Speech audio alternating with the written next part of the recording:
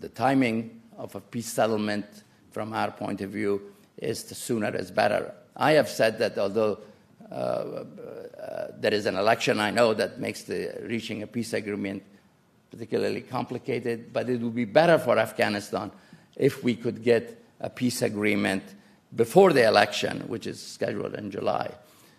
Uh, at the same time, uh, uh, while we would prefer to see an agreement before July, a peace agreement, to bring the Taliban also into the process so that that peace agreement uh, would uh, facilitate a peaceful election or a peaceful uh, framework for proceeding with regard to the future of Afghanistan, but that if there is no progress on the uh, peace track, elections will take place, and we are doing what we can uh, to support uh, the preparations for a, uh, for a credible elections. What do you mean by that? There's going to be uh, madrasa again?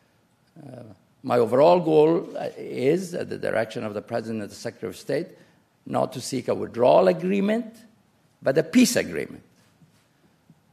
Because a peace agreement can allow withdrawal. But it is not just a withdrawal agreement that we are seeking.